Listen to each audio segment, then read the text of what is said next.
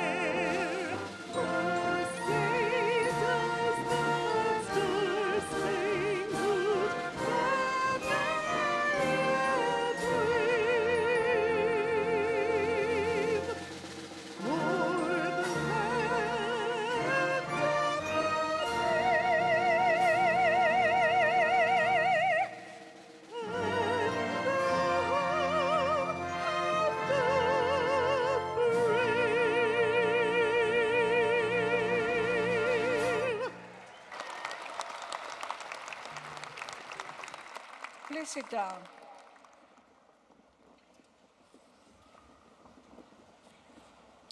At this time, it is my honor and privilege to introduce you to Dr. Frank DePiano, University Provost and Vice President for Academic Affairs. Dr. DePiano. Thank you, Dr. Flores. We welcome all of you who have joined us to honor the members of the class of 2013.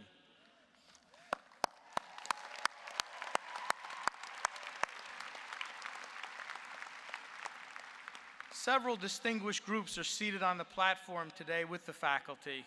At this time, I'd like to recognize the members of Nova Southeastern University's Board of Trustees who are with us today.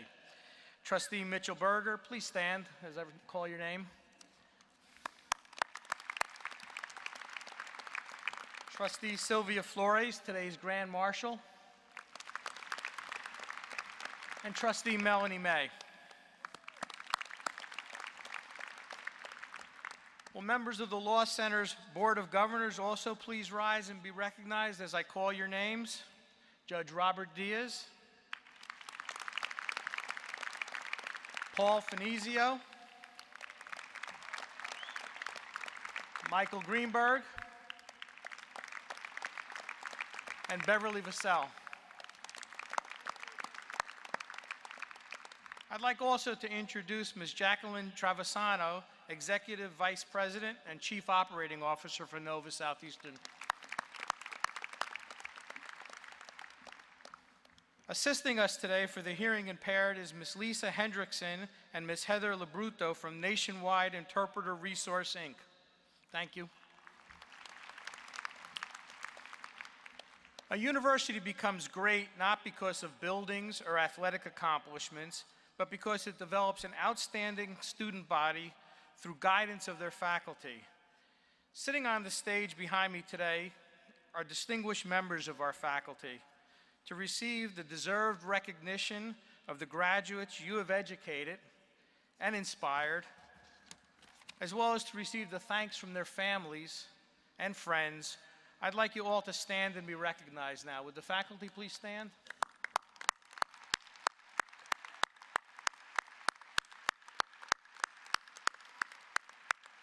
Thank you. And now to formally open these commencement exercise, I'm privileged to introduce Dr. George L. Hanbury II, President and Chief Executive Officer of Nova Southeastern University. Mr. President.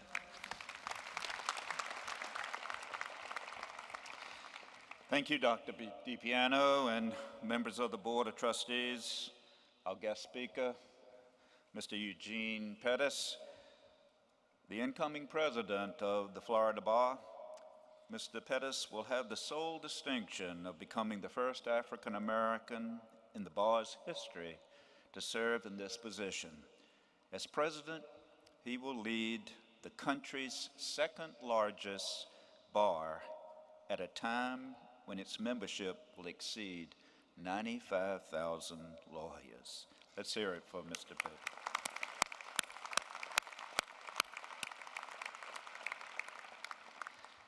It's also my distinct pleasure as Nova Southeastern University's sixth president to welcome all of the family, members, as well as friends, loved ones, associates, significant others, to publicly witness and to celebrate the graduates today and in recognition of the hard work that they've taken and undertaken in their academic success. Today is about you, but I want to take just a few moments, as Dr. DePiano did, to recognize and to commend the faculty because it was the law faculty who challenged you and hopefully inspired you and taught you to prepare to meet the future with great hope and anticipation and to pass the bar. Many of you probably have a favorite professor or two, and one of them will speak this morning, this afternoon. But it's a collective shared knowledge that you have amassed from all of your NSU law professors that will guide you forward. Please join me in again recognizing the distinguished faculty with us here today.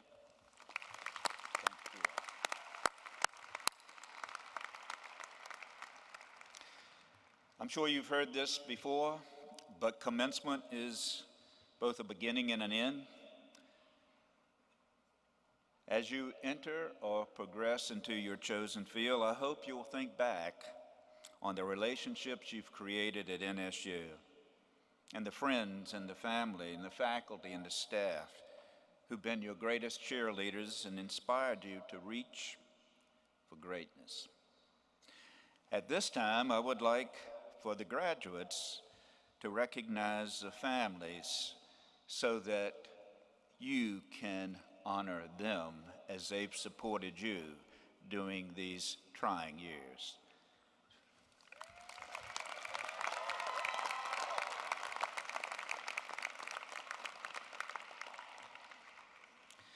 As the 2012 2013 school year comes to an end, we can take a moment to reflect back upon your time here at NSU. I said previously that commencement is indeed an ending and a beginning. You're ending your time as a law student, yet you're embarking on a brand new beginning. Today, there are 250 of you who will receive the JD degree. This morning, I had 900 undergraduates that were just as excited as you are in receiving their undergraduate degree. In fact, during this commencement period, in the next six commencements that I'll undertake, Nova Southeastern University will award 7,500 degrees in various aspects of undergraduate, graduate, and professionals such as you, all celebrating the hard work in which they've undertaken. All of you, including the 7,500, are from all over the world, from states throughout this nation, from New Jersey and New York, from Texas and California, from as far away as Angola and Brazil, Colombia, Egypt, Jamaica, Vietnam, Russia, Ghana, India, Italy, Spain, and Davy. Our graduates also include active military deployed in Europe and the Pacific in countries ranging, ranging from Angola to Zambia. In fact, this year's graduating class hail from 77 different countries and 48 states. While you were here, some of you chose to study abroad, perhaps in Italy or Spain, or earning an LLM degree in either international human rights and environmental law or Central European and Czech law and business. Many of you chose to focus on a specific area of law while studying at NSU, participating in our hands-on clinical practices, including the alternative dispute resolution, children and families, criminal justice, environmental and land use law, international practice, and our personal injury litigation clinic. And you are all very eager, as we are, to begin serving in South Florida's veteran community with the opening and appointment of our first staff attorney in our new Veterans Law Clinic. Of course, many of you came to NSU straight from your undergraduate program, just like those that I had this morning at 11 o'clock. Others took a year off for travel or to gain some work experiences, or transferred from another law school. And still others came back after many years in order to accomplish their academic goals, dreams, and aspirations. This year's graduating class of Nova Southeastern University, that 7,500 I mentioned, has the youngest graduate at 19 years old. Our oldest graduate, guess what? 81 years young.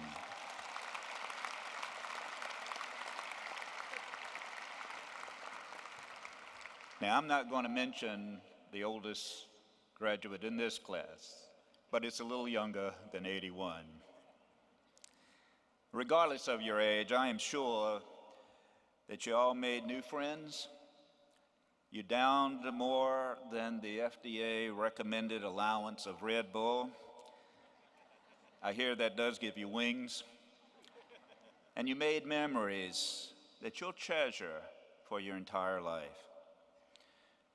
You all stand out in your unique ways to make up this incomparable class of graduates, NSU's law class of 2013. Since you've been here for several years now, you have no doubt realized that the community is one of our eight core values. And you've embodied and will continue to embrace that, I hope, as you depart. NSU is proud to be recognized by the Carnegie Foundation for the advancement of teaching as one of only 37 universities nationwide out of more than 4,000 colleges and universities that have the dual designation of high research as well as community engaged.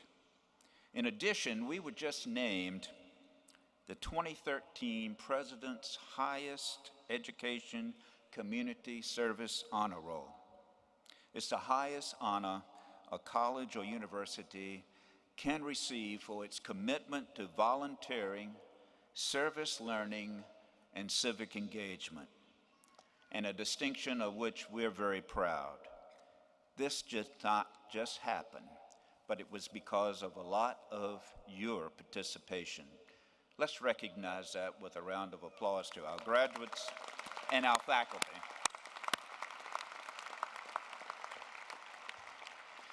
To give you some idea, NSU students logged an incredible 10,214 hours of service as individuals as well as through clubs and organizations this academic year. This produces a real economic and social impact and does good in our community. 95 members of this law class qualified for recognition by performing at least 50 hours of pro bono service. In total, NSU law students volunteered 23,688 hours of pro bono legal work, which is equivalent over 473 work weeks or almost nine and a half years. Unbelievable, isn't it?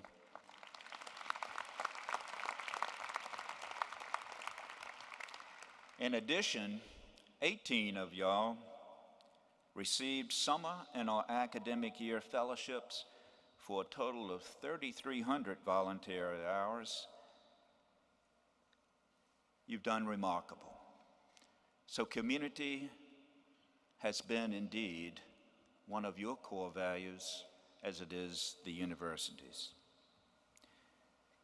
With more than 152,000 alumni, you will find sharks all over Florida and the rest of the world. You'll find judges, you'll find associates with an NSU degree. And as an NSU alumni, you are indeed entering good company. Just as your predecessors have, and we've stood on their shoulders, we now stand on your shoulders to see Vision 2020 come to reality. You are the embodiment of NSU spirit, and together we are one NSU. By focusing on your goals with enthusiasm and the progressive realization of that worthy goal, you will be successful. As the reputation of this university spreads because of your accomplishments and those that will follow you. Previously, I mentioned community as one of NSU's core values. I would like to finish my comments on one other core value of the eight core values. And I hope you will remember this core value and practice it throughout the rest of your life integrity. I challenge you to live up to the admonitions that Shakespeare gave to Polonius in his words of advice to Laertes. This above all, to thine own self be true. As the night, the day, thou canst not be false to any man. You see, integrity, like a mirror, once shattered, is difficult or impossible to restore. I'm not going to sugarcoat life for you as your president telling you you'll see nothing but bright days in the future. Life will not be easy, and you will be tested. Your integrity will be tested. Life is indeed hard, but if you work hard and you pursue your dreams, and lead an honest and ethical life with integrity, those are the lawyers that will be most successful and remembered. So I end with these comments to the graduates. Keep your aim above your reach. Be bold and be persistent in achieving your aim. But most of all, maintain your integrity. It is your most precious asset. Thank you and congratulations.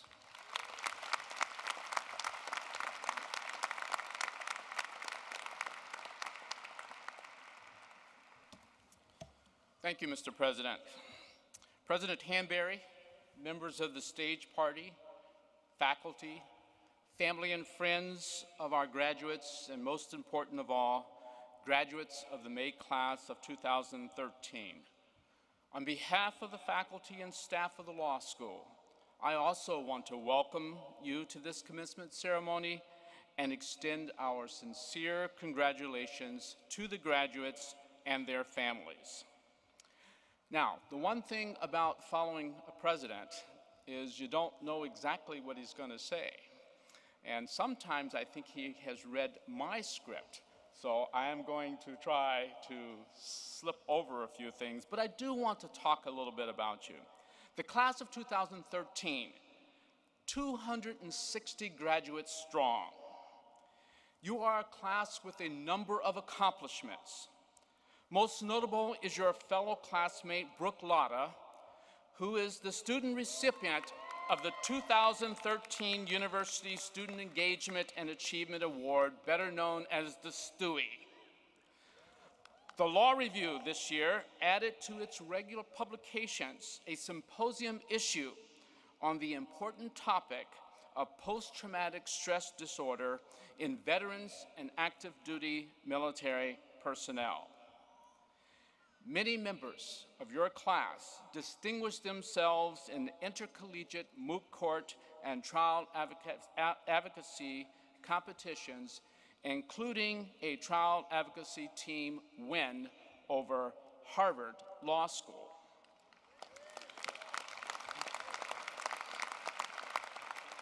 As will be noted shortly, your class demonstrated stellar commitment to pro bono service. During your orientation three or four years ago, you were presented with a gavel. You were told at that time that the gavel is a symbol of our profession used by judges to signal the opening of a session of court, for maintaining order, for punctuating decisions, and bringing matters to a close. At the conclusion of today's ceremony, you will receive a sounding block there's much symbolism in these two items. They represent the beginning and the end of your formal legal education. They represent a milestone in your life's journey to become a member of this noble and distinguished helping profession. Stanley I. Greenspan and Nancy Thorndike, psychiatrists, wrote, and I paraphrase, as you progress from one milestone to the next, remember that you don't really leave any of them behind. In order to grow and develop to your full potential, you must continually build on and strengthen all of the steps that have gone before. Your legal education and what you take away from it will be tested, strengthened, and augmented as you move on to establish future milestones, particularly within the legal profession. Legal knowledge gained in law school will be augmented by new situations and your ability for self-learning and for creative reasoning. Ethical challenges, once debated in the classrooms and hallways, will confront you in a variety of settings testing your moral character. Professionalism and civility take center stage in a profession where courtesy, respect, honesty, integrity, and adherence to decorum and rules are central tenets. Service and leadership to the profession, to individuals and to the community are no longer just clever words of a mission statement. September 2014, the Law Center will celebrate its 40th anniversary. For 40 years, we have educated students and prepared them for the important vocation of helping individuals and organizations resolve legal problems. I've had the pleasure of talking with many of our graduates from the Law Center. To a person, they have come to value the education received at NOVA. I say that they have come to value the education because oftentimes it takes time and circumstances before a person comes to fully appreciate the efforts of faculty and others who have had a hand in their learning. When graduates take the bar or handle their first case, they begin to reflect back appreciatively on the faculty members and staff who have taught them and provided them assistance in their education. So, while the gavel and the sounding block symbolize the beginning and end of your formal legal education, today they become symbols of the beginning of your professional career. As I close my formal remarks, I ask each of you the following question, and I paraphrase President John F. Kennedy. Will you be a person of courage, a person of judgment and wisdom, a person of integrity, and a person of dedication? Every successful NSU law alumni has demonstrated the characteristics of courage, judgment, wisdom, integrity, and dedication in his or her life. Now I would like to take a few minutes to recognize some of the accomplishments of individual members of your class. In your commencement program, there is a list of activities and honors in which students have been active in both the Law Center and the local community. Each of these activities and interests has brought tremendous benefit to the school and the community. However, I do want to draw special attention to several awards. I am very pleased to announce the recipient of the Professor Larry Kalevitch Award. For more than 20 years, our distinguished colleague, Larry Kalevitch, placed his indelible imprint on NSU law and on the thousands of students he taught. In his memory has been created an award that recognizes the student in the graduating class who has demonstrated the most promise in business or bankruptcy law. This year's recipient is John Moore.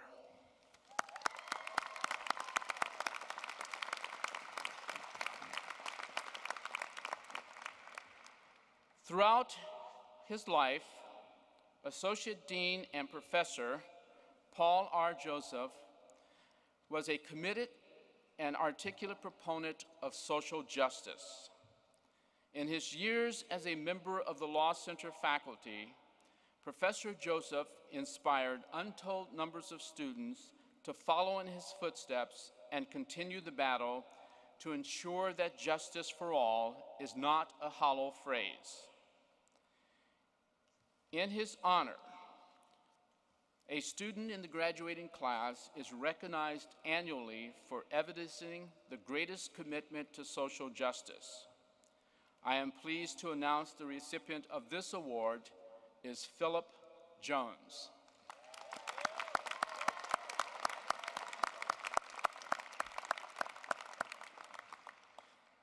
The Honorable Judge Charles I. Kaplan was an alumnus of the law school, served as an adjunct professor, and was a member of the Alumni Association Board. Judge Kaplan was a judge in the juvenile court system and was very interested in helping youth. The Honorable Charles I. Kaplan Endowment and Award was created through the efforts of his parents, Dr. Daniel and Mrs. Sylvia Kaplan, for a student who has demonstrated dedication and commitment to children and families through the students' work in the Law Center's Children and Families Clinic. The recipient of this year's award is Raymond Trandley.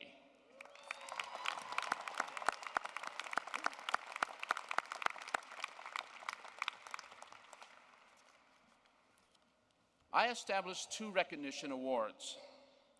These two awards, one for leadership and service to the law school, an internal focus, and one for leadership and service to the community, an external focus, are given to individuals who have demonstrated through their actions a commitment to the better of the law school and our community. It is with pleasure that I announce the recipient of the Dean's Award and recognition for leadership and service to the law school goes to Brooke Lotta. Oh. And the Dean's Award and recognition for leadership and service to the community goes to Amanda Saba.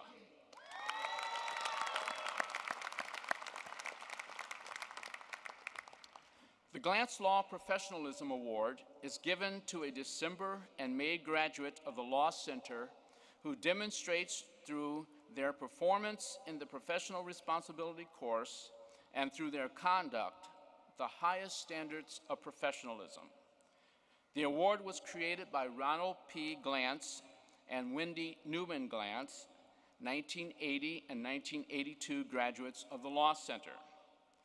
The May 2013 recipient of the Glass, Glantz Law Professional, Professionalism Award is Ryan Tyre.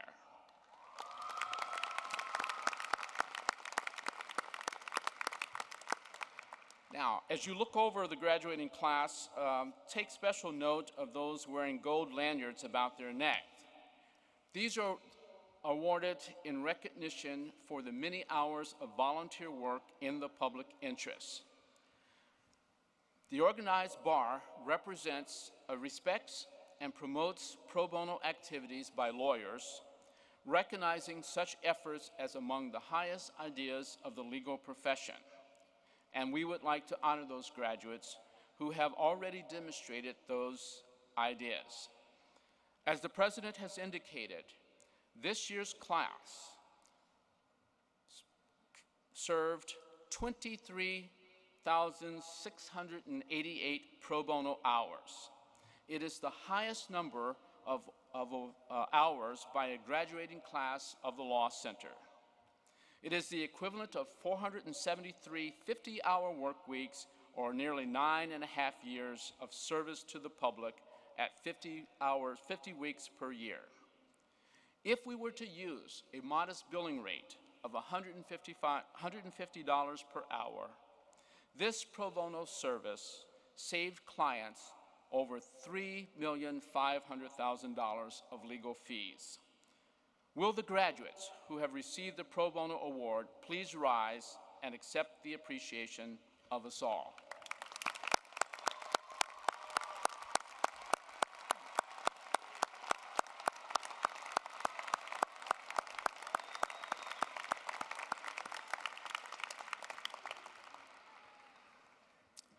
In keeping with our university and law school traditions of active student involvement, we ask your class to elect a student to speak for, you, for all of you at your graduation.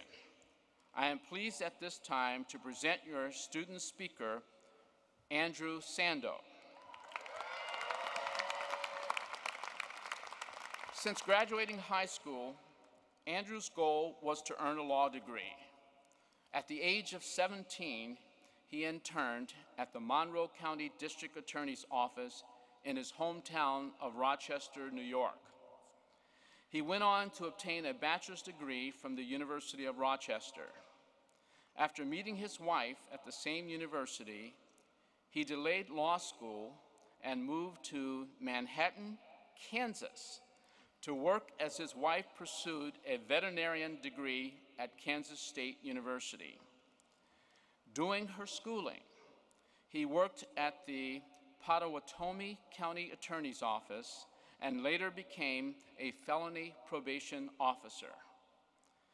After his wife finished her degree, they moved to Florida, where he successfully completed NOVA's AAMPLE program and fulfilled his dream of earning a degree in law.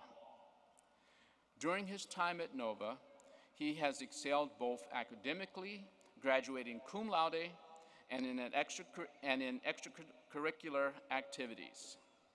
He became a class representative and the election chairman for the student government, the president of the Criminal Law Society, and has perfected his talents in the courtroom.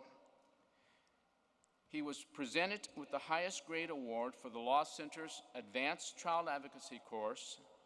He was a recipient of the 2012 Sheldon J. Schlesinger Child Advocacy Scholarship and he has competed on three of Nova's traveling competitive trial teams, one of which his team became quarterfinalists, and another in which his team beat Harvard Law School to become finalists.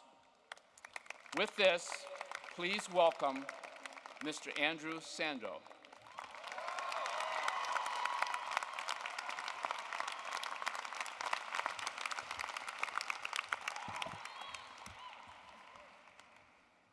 Hello, everyone. It is such an honor to be standing here today as the voice of our class for our commencement ceremony. With that said, I cannot remember the last time I've sat so still and been so well behaved. I'm still trying to figure out how to blow up these beach balls and get them out to you guys. As Dean Steele said, one of the greatest privileges I've ever had in my life is to be a competitor on NOVA's various trial teams and travel across the country and represent Nova Law as we try mock cases. What I've always noticed is that after months of practicing, preparing, rehearsing, and knowing every angle of those cases, before each of those competitions began, my heart always beat like a phone book in the dryer. Litigation attorneys will always tell you the day that you try a case and you don't feel that is the day you should stop trying cases. Now, I'd use the mic right now to let you hear my heartbeat, but we all know that my Raul Valero like body wouldn't let you hear it anyway.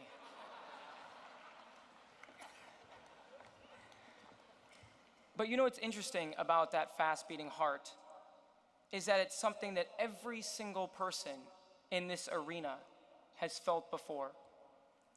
Take a second and try and remember that feeling. Class of 2013, before we even knew each other, we all share that same fast beating heart when we received that acceptance letter into Nova Law, or when we saw those two grades and successfully passed that rigorous AAMPLE program.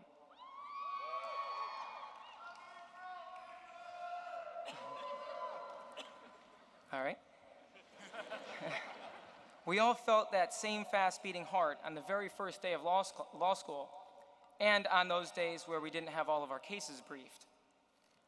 See, with Professor Rohr, you were allowed one day to say, Today's not a good day. But that never seemed to work too well with Professor Burris. Ah, I don't think I could read that man's syllabus in a week. Nonetheless, we all share that same fast beating heart when each and every one of us, for the first time, stood up as lawyers in the making and gave those painful LSV oral arguments. Yeah. We all felt that fast beating heart when we sat down for the first time. We rolled up those green earplugs and we took our first law school exam. We definitely know that fast beating heart when we type in our username and password into WebStar and check our grades. And maybe when we are actually suffering a actual heart attack from all the food at the UC. Now, granted, after our first year, we each began to go different ways. But we all still experienced that same fast beating heart throughout our days at the Law Center. Whether it was making it to class on time after a long day of work, trying out for NTA or moot court, taking a final exam, doing a presentation, running for a position on an organization, or just dealing with that Florida bar. And here we are, three years later, after countless all nighters, papers, exams, and it's all behind us. But I promise you, we will all share this same fast beating heart many times in the future. And for you, that may be in your first interview. And for you, that may be in your first criminal or civil trial, your first deposition, your first contract someone challenges, or your first property sold. When you stand back and look at the last three years, we began and lived this chapter in our lives, all feeling the same thing together. Together. Because no one here made it by themselves. We are all here with all of our accomplishments because at some point in time, we helped each other. That help came in the form of study groups and outlines. It came in the form of group papers and projects. It came in the form of classmates helping us with Blue Book citations and projects. And it came in the form of teachers, professors, friends, and student organizations. And at the very least, maybe most importantly, it came in the form of emotional support and friendship from everyone here today. No one sits here because of just themselves. We are here as one class. One class that shared the same beginning. One class that shared the same journey. One class now sharing the same end. And one class that shares that same fast beating heart together. So, class, this speech gives me one chance to say something you'll never forget.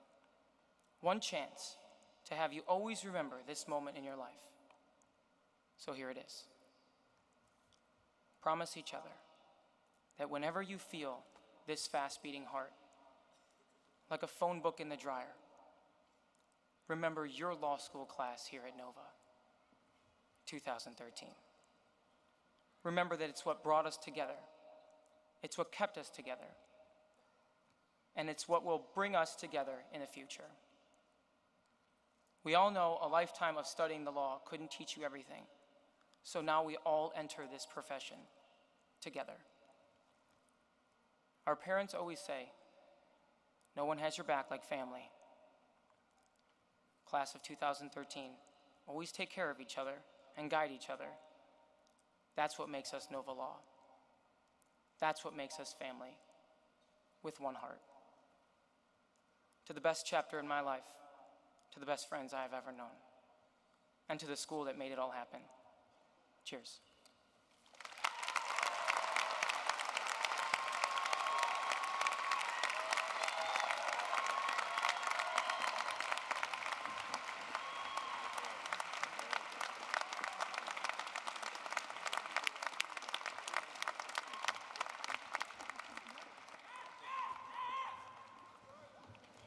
Thank you, Andrew. I think your classmates did you well selecting you to speak on their behalf. Your class also has chosen Professor Michael Flynn to speak today on behalf of the entire faculty. Michael Flynn joined the NSU Shepard Broad Law Center faculty in 1987. His primary areas of academic interest are personal injury and consumer protection law, as well as practical litigation skills training. He was employed by the Washington State Attorney General's office in various positions, including corporate counsel for three community colleges, chief trial lawyer for the Washington State Human, Human Rights Commission, and as section chief for consumer protection enforcement in Eastern Washington. He also was in private practice as a litigator and personal injury trial lawyer. Professor Flynn earned his JD degree from Gonzaga University. He claims to be the number one Zags fan east of the Mississippi. He teaches civil procedure, consumer protection, medical malpractice, torts, and the personal injury clinic. He holds bar memberships in Washington State, Florida, and the Federal District and Circuit Courts of Appeal in the Ninth and 11th Circuits. Professor Flynn has won numerous teaching awards at NSU and for continuing legal education and for his presentation to non-lawyers from national organizations such as the National Institute for Trial Advocacy. Please join me in welcoming Professor Flynn to the podium.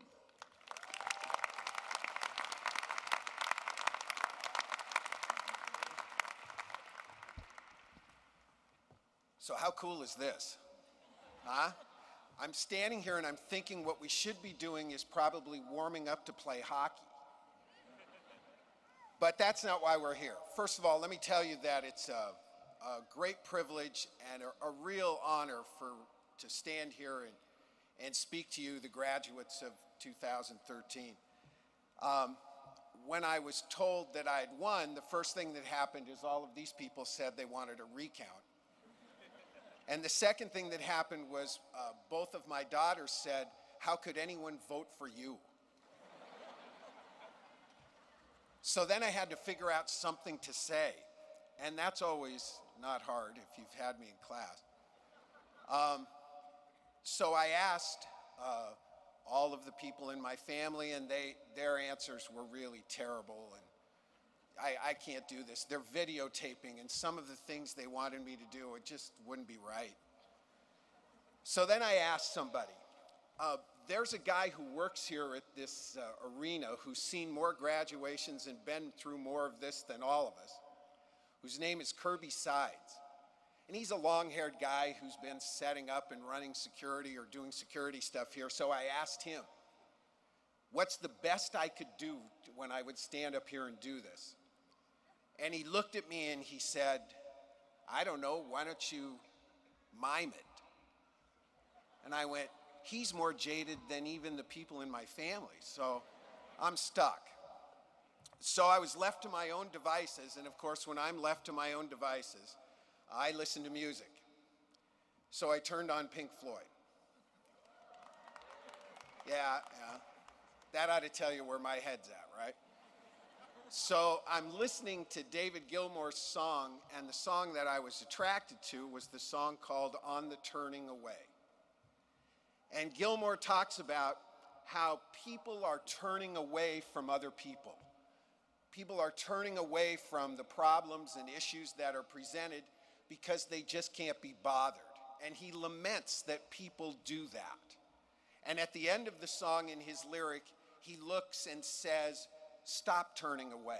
Stop turning away from what people need you to do and what you can do for other people. So I was thinking about that in terms of what this gathering is, and we're in an arena here filled with people who have never turned away. They have never turned away. Think about it. Every single one of these people in the stands here, whether it be your parents, your siblings, your grandparents, step parents, whoever it may be, they have always never turned away from you. They have turned towards you. They are the reason you're here. They did law school just like you.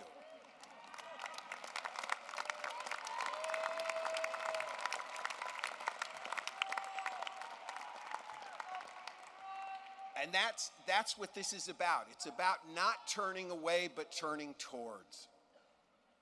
Then I look at you guys and I think about it and I said, well, first of all, for a law student to be successful, the first thing you have to do is you have to turn inward.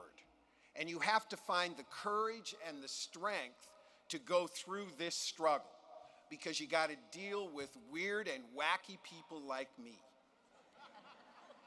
So you turn inward first, and then what do you do? You realize that all that you've struggled through in law school is to then turn towards someone else to never turn away from people, to turn towards other people and make their lives a little bit better, one person at a time. And then I look at us as the faculty. What do we do? We've never turned away from you, and we will never turn away from you. You are our students. We have been your partners. It has been our privilege to be both of those things. We have tried and hope to serve you well to instill in you the idea that you never turn away. You turn towards those abused, neglected, and abandoned children. You turn towards the homeless, the, the veterans, the people who have been saddled with physical and mental and emotional disabilities. You turn towards every innocent accused person who is in jail. You turn towards every business person or individual who's been victimized by the heartless greed and deception of those people with power and control. You turn towards every single person, regardless of their race, their age, their sexual preference, their handicap. You turn towards every person who's ever been injured because someone was careless or reckless or intentionally tried to do them harm. This is the nobility of being a lawyer. This is what it means to be a lawyer. It's what it means for all of us who sit here who are lawyers, and now it's you. Now it's your turn to turn towards those people as we have, because that is your life's journey. The great poet Elizabeth Barrett Browning said that we can never repay those people who have helped us to become what we become. But rather, what we can do is repay by doing things in kind for others. That's what it means to be a lawyer. That's what it means to take off from this point and begin your legal career. This is what we will be here for you. You can turn towards us because we will not turn away. We will stand beside you and support you in everything that you do. Now, for some of you, you don't want to listen to me ever again, and that's okay. But for others who have never had to deal with me, you can try me out. You never know. Um, but that's what it is. And that's why it's such a privilege to stand here um, and speak to you. Now, you know this would not be Flynn if I didn't do something weird. Because I've always, you know, I, I, I, you know how I am. It's what my kids worry about the most is how random and demented am I going to get. But I was thinking about this, and I was thinking in terms of what is this? Well, you know that I'm obviously in between grading exams, first year Civ Pro exams. I'm watching the Heat. And I really want the Heat to win, and I want them to play Golden State, and we'll go on from there. But the idea is, is that I'm not going to get to a Heat game because I don't get paid enough, but I, I'm not going to get to a Heat game. So I've always thought that the most fun would be there to be on a game seven clincher where you know it's over. And you're now saying goodbye to the team you just vanquished. Well, in a sense, you are saying goodbye to law school. Now, I, don't think you vanquished law school, but at the same time, you're saying goodbye to it. And of course, what's the song that everybody sings when, you're, when you do that? You know what it is. Na na na na na na. You know what I mean, right? So now you're going to have to get off your butts and you're going to have to do this because that's what we do. Okay? So all of you down here, you're the first group. This guy, these guys right here. Ready? Let me hear it. Na na na na.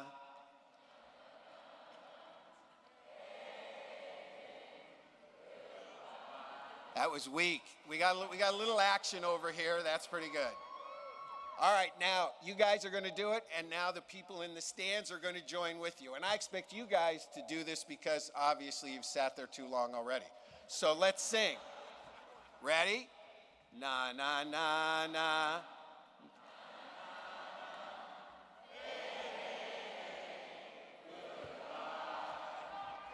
Now, what do you think the chances are back here? You guys ready? All right, let's hear it.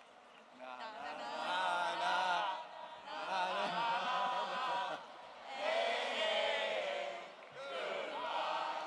Okay, now. No, no, we're not done. Now, everybody do it together one more time. Ready? Na, na, na, na.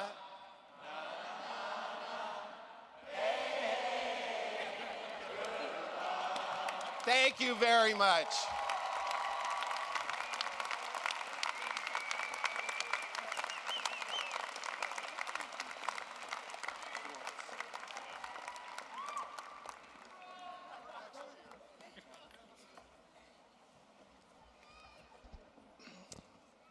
Think there's the making of the Harlem Shake up here.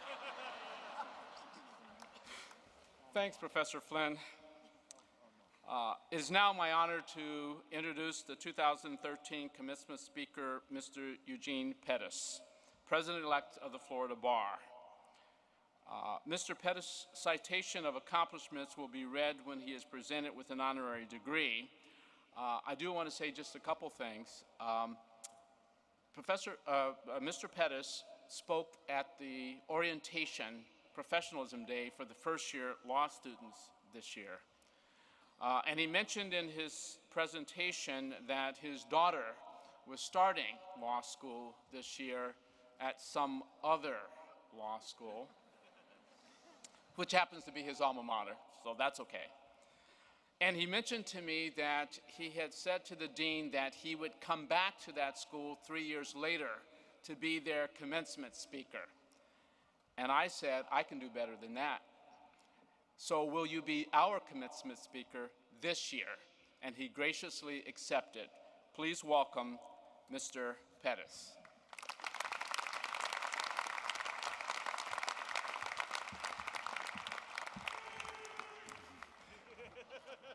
Thank you, Dean Steele, President Hanbury, to all the distinguished faculty, Board of Trustees, and most importantly, to the graduating class of 2013.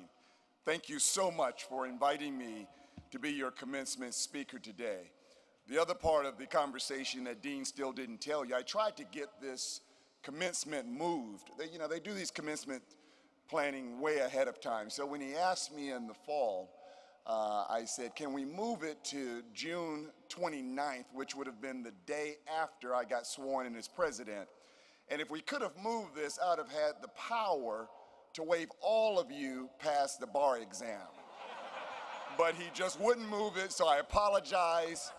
It's his fault, so, you know, come July, you, you have to take the test. I can feel the excitement in the air. You know, I, it's been 28 years since I graduated from school, and whenever you come around a, a, a graduation, it's, it's excitement. It's a feeling of accomplishment. And you have every reason to have the emotion of accomplishment here this afternoon because you've sacrificed greatly. When your friends were calling you and posting on Facebook asking you to come to happy hour, at Falcon Pub or at Tap 42, you stayed focused and you stayed in the library. Okay, maybe you didn't go that far, but you get the point. This is an opportunity for you to celebrate all that you have sacrificed over the past three years. When I graduated in 1985, there were a few differences in comparison to 2013. I entered the profession, there were 36,000 lawyers. We're now just short of 96,000 lawyers. When your class of 2013 gets sworn in in September and October of this year, we'll be upwards of 98,000 lawyers in the state of Florida. When I was sworn in, there was 14% females within the profession of law. Today we have 36% and it's rapidly climbing. And I had to look this up. When I graduated in 1985, the top song was Madonna, Like a Virgin. I don't remember that, but I looked that up. And you know, 2013, we're almost at the halfway point, and a song that you may call upon for this moment, a reflection of first, second to third year of law, you may borrow one from Drake. Started from the bottom, but now we're here.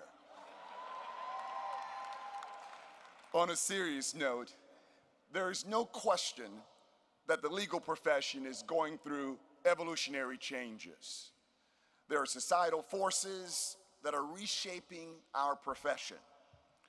In addition to economic realities, information technology is also impacting our profession and the way we practice law and how we interact and communicate with our clients, the courts, and with each other. In 1985, when I graduated, desktop computers were not in play. Cell phones had not been invented. Al Gore had yet to invent the internet. In the next few years, we'll have a graduating class from law school that's never known the world without the internet. It was John F. Kennedy who once stated, change is the law of life. And those who look only to the past or to the present are certain to miss the future. Each of you must embrace the fact that change is inevitable and use your creative talents to help shape a new legal model that preserves the core principles of law while advancing a new paradigm. Three years ago, when you commenced this journey of law school, it was in the midst of economic and societal uncertainty. We've referred to it as the Great Recession. But despite the uncertainty, each of you showed a faith. A faith that no matter the time or the circumstance, the legal profession would endure. You noted that the legal profession had shined bright over history as a pathway of justice and equality in our society. Lawyers have stood on the front line of some of the most proud moments in our history. 2013 marks the 150th anniversary of the Emancipation Proclamation, the result of fierce battles led by President Abraham Lincoln, a lawyer on the front line. 50 years ago, the United States Supreme Court passed its ruling in Gideon versus Wainwright that indigent criminal defendants had a right to legal representation. Lawyers on the front line. And over the past decade, we've watched as the world has seen historical dictatorships fall in Iraq and in Egypt. There have been lawyers serving as the architects of new constitutional democracies, lawyers on the front line. That is our proud heritage of law, and that is the profession that you're about to become a part of. There have been 36 years of Shepard Broad Law Center graduates that have sat at the moment you're sitting today. Many were here doing years that quietly passed from one to another without much fanfare or concern. Periods where jobs were plentiful and prosperity required little by way of sacrifice or struggle. But the class of 2013 is given a different charge. There's a different calling on each of your lives. Your class will help define the practice of law like few before you have. But you need to recognize this is both a privilege as well as a responsibility. And I have a gut suspicion as you've gone over the past three years, you can feel the change in the wind within the legal profession. And the profession that you're going to come into in September, October, once you're sworn into the bar, will be a different profession than you leave in decades to come. But in the midst of change, there are some guideposts for you to follow. As you pass the bar, and I said, as you pass the bar, because you're going to pass the bar, you're going to take an oath to our profession. And as you take that oath, I want you to also take a look at what's called the creed of professionalism. And therein are two points that I always like to highlight in my speeches that I think reflects the ideal lawyer, a lawyer such as Abraham Lincoln or Atticus Finch, both of whom were willing to sacrifice their all for what they knew was right. Lawyers who had the courage the compassion, and the strength of service to others. The first of these provisions state, I revere the law, the judicial system, and the legal profession, and will at all times in my professional and private lives uphold the dignity and the esteem of each. This tenet speaks of an active role that you should play in being an advocate for the law and what is right. Maintaining a fair and impartial judiciary unobstructed by politics. Making sure that all citizens of our society have access to our courts, no matter their financial means.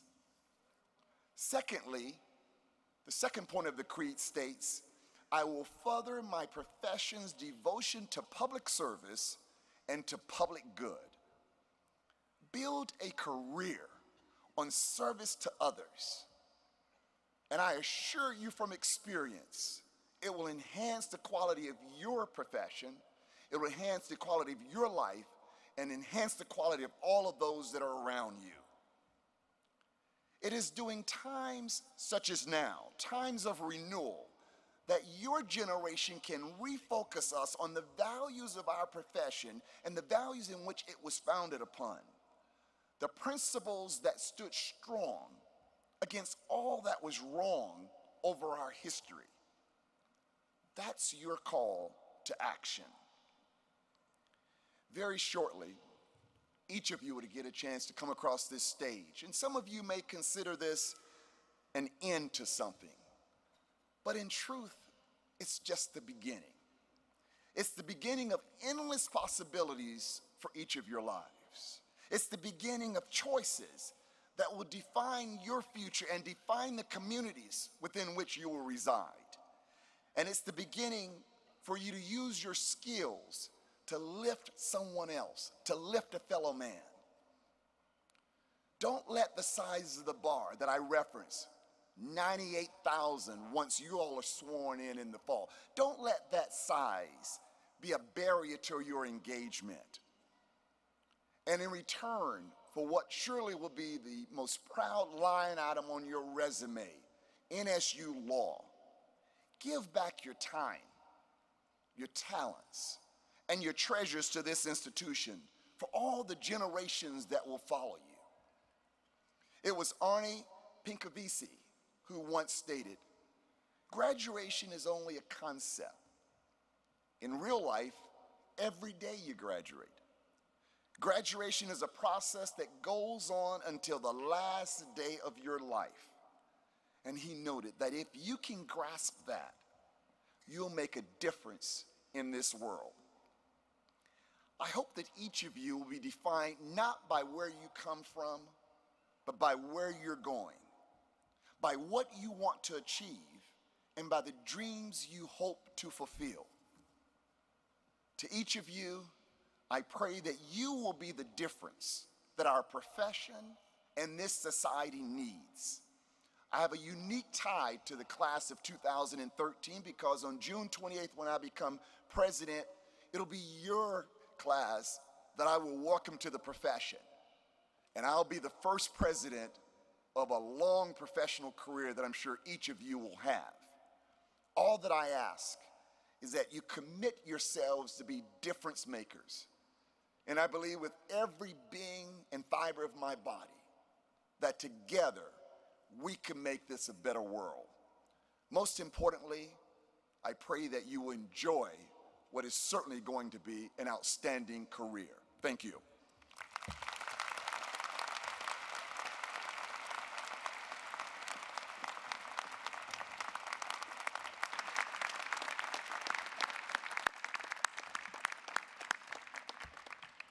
Thank you, Mr. Pettis, for your inspiring comments. Uh, uh, your accomplishments really uh, serve as proof to our graduates that there is life after law school. President Hanbury, Dean Steele, please join in the conferral of the honorary degree.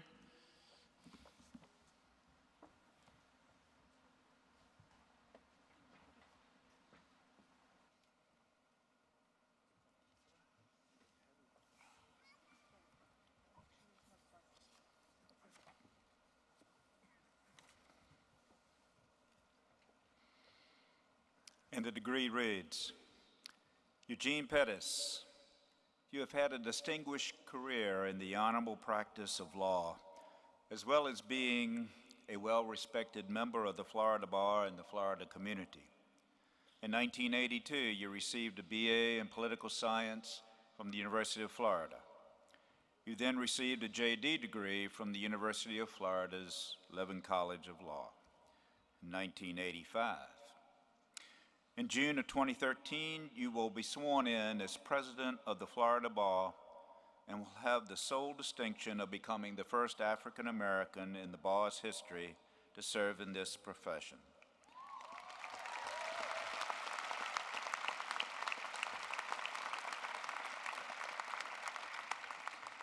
Just six years after graduating law school, you were the first African American appointed by Governor Lawton Chiles to the South Florida Water Management Dif- District's governing board, and you eventually served as its vice chairman.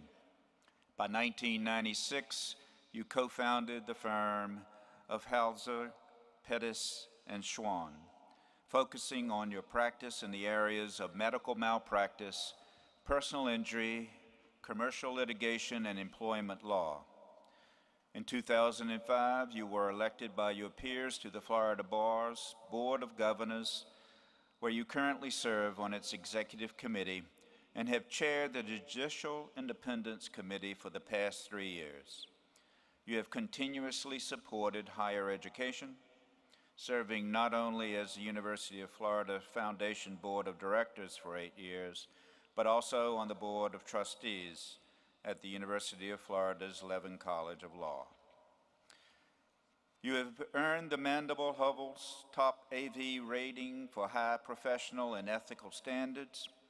Throughout your career, you have earned numerous legal awards and accolades, including ongoing selection by your peers for inclusion in the best lawyers in America in areas of medical malpractice and personal injury litigation. Florida Super Lawyers, the South Florida Legal Guide, Top Lawyers List, and Florida Trends Legal Elite. In 2007, you were inducted into the exclusive invitation-only American College of Trial Lawyers and elected by your peers into the American Board of Trial Advocates, ABOTA. In recognition of your commitment to community service, you were recognized in 2012 by the Urban League of Broward County with the Margaret Roach Humanitarian Award. In January 2013, you were recognized by your ABOTA chapter as the Trial Lawyer of the Year in Fort Lauderdale, Florida. Your service to the profession and the community has been acknowledged in receipt of numerous additional honors and awards.